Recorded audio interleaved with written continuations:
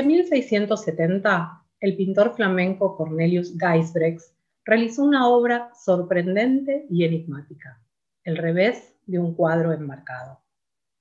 Esta pintura, ejecutada en trompe-l'œil, elaborada con gran maestría técnica, es la imagen del reverso de un cuadro. No tenemos información precisa acerca del artista y de su producción, pero es probable que la obra ya se encontrara hacia 1674 en el Gabinete Real de Curiosidades de Dinamarca, más específicamente en la Cámara de Perspectiva del Palacio. ¿Cuáles son las condiciones de posibilidad de una pintura semejante en ese momento? ¿Por qué el pintor eligió reproducir el lado nunca visible de una pintura? ¿En qué consiste el asunto de esa representación? Para responder estas preguntas me interesa recuperar algunos aspectos de la cultura del momento, que por supuesto siempre se entromete de alguna manera en el desarrollo de toda obra de arte. La pintura muestra la imagen de un cuadro al revés, compuesto de tres partes. El rectángulo mayor de madera que correspondería al reverso del hipotético marco, otro intermedio que corresponde al bastidor donde va clavada la tela y en su interior el revés del lienzo.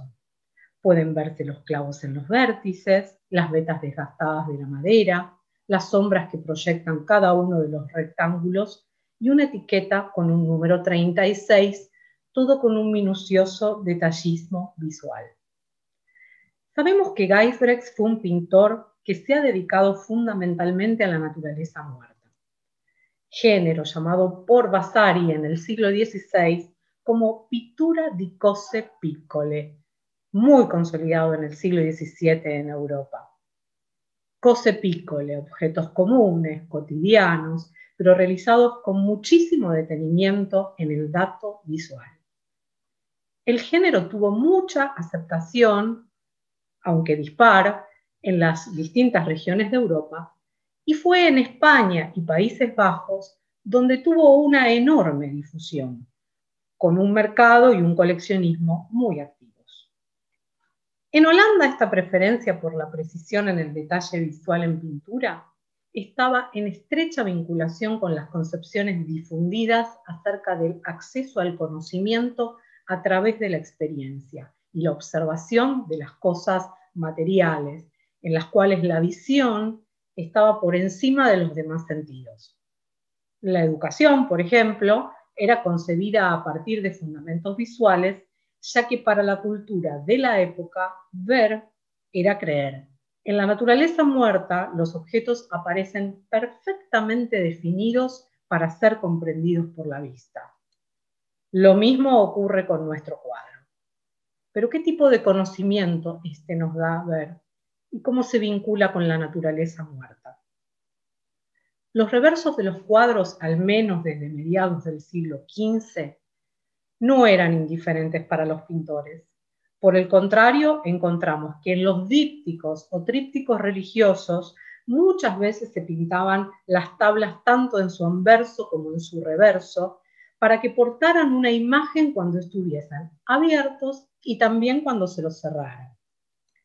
Uno de los ejemplos más conocidos y difundidos de este tipo de realización es el tríptico de las delicias del Bosco.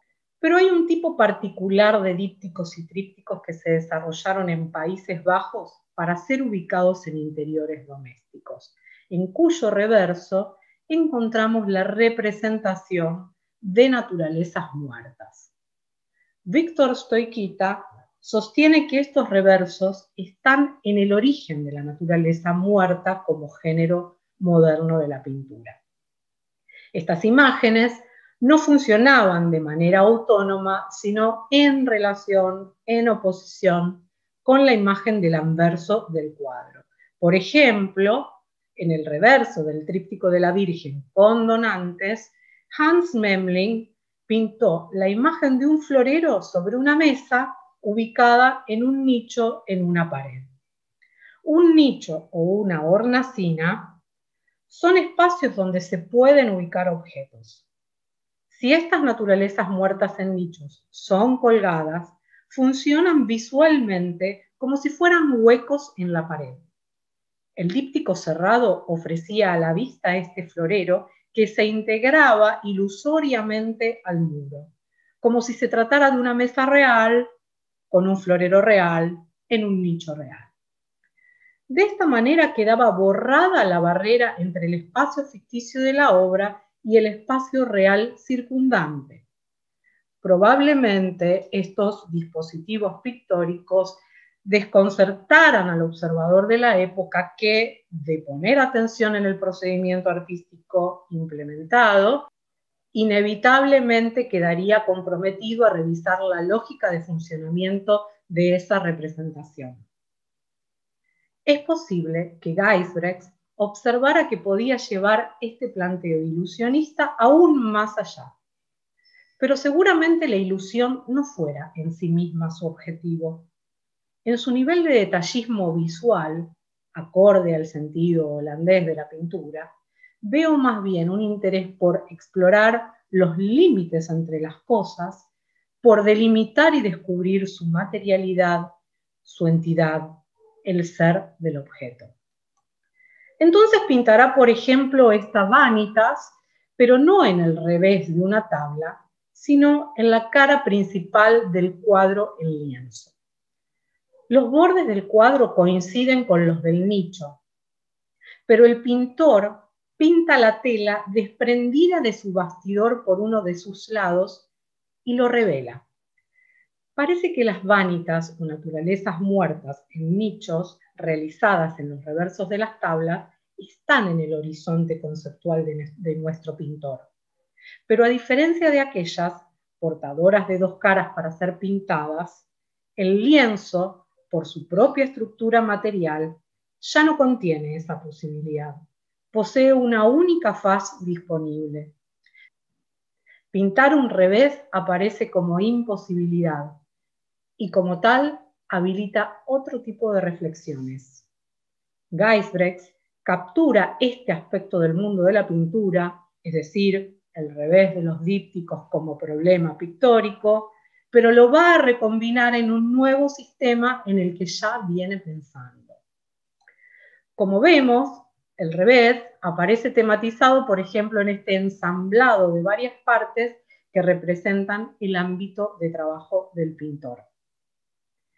¿Qué hace Geisbrecht entonces cuando pinta el revés de un cuadro como cuadro independiente? En primer lugar, atiende a todos los datos aportados por la visión para la captura de su objeto.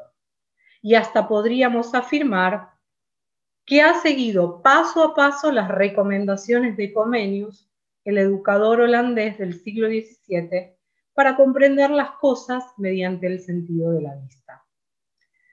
Pero, ¿qué es el marco para un cuadro? Como define María Pía Timón, un marco señala el espacio propio de la pintura y la individualiza en relación a los objetos colindantes. Es decir, que es el elemento transicional que establece dónde empieza y termina el espacio de la representación en nuestra obra el marco no es marco del mismo modo que no lo es el bastidor, pero también son representados con una textura magistral, muy acorde a la importancia que tenía, por ejemplo, la marquetería en la época y el mundo artesanal en general. Quienes han trabajado directamente con esta pieza sostienen que puede verse con toda claridad la trama del lienzo, cuestión que se ve reforzada por la importancia de la tradición de los textiles flamencos y cómo estos han dialogado con la producción pictórica desde el siglo XV. Y dado que en el revés del cuadro la trama de la tela se exhibe a sí misma, son tentadoras las analogías con los abstraccionismos pictóricos de principios del siglo XX, o con los ready-made, por la elección de un objeto ordinario y aparentemente indiferente que el artista constituye como obra. Pero en la abstracción moderna son otros los problemas artísticos contenidos. Y en cuanto al ready-made, además del sistema crítico institucional que este tipo de piezas sostiene, propio del siglo XX, la dedicación manual que Geisbrecht le imprime a su obra nada tiene que ver con un objeto ya hecho. Lo que nos sorprende es el gesto artístico casi contemporáneo. Sin embargo, en el revés de un cuadro, todo es pura imagen. La de los clavos, la de la madera, del papel con el número 36, de la trama de la tela. Y el reverso de un cuadro se ha vuelto objeto de la representación. Ahí no hay nada relevante. Es la pintura piccole llevada al extremo. Se trata así de un gesto conceptual que evoca los dilemas metartísticos de muchas propuestas actuales, al indagar en los fundamentos del arte y la representación. Geisbrecht, al reproducir de manera tan precisa la estructura del soporte pictórico, también está exhibiendo deliberadamente las condiciones de su posibilidad, el andamiaje que la constituye. El revés de un cuadro es entonces una máquina de pensar, un artefacto de reflexión metapictórica. La reconstrucción actual de la cámara de perspectiva del Palacio Real de Copenhague nos da una idea de cómo podría haber estado presentado el revés de un cuadro enmarcado, expuesto en el suelo contra la pared junto al caballete, como un cuadro sin colgar que tenía que engañar al observador. Este, al darlo vuelta para verlo representado en el anverso, se encontraría con una tela sobre el bastidor y quedaría sorprendido, extrañado. Se trata entonces del tipo de representación paradojal, como plantea Stoikita, que obliga al observador a prestar una atención mayor a la habitual, a verificar lo que ve y a deconstruir el procedimiento que la hizo posible. Su asunto es todo lo que esa paradoja nos hace conocer a través de su procedimiento pictórico, no solo del objeto que representa, sino de la pintura como construcción, al revelarnos su soporte, su artificio, su tramoya visual.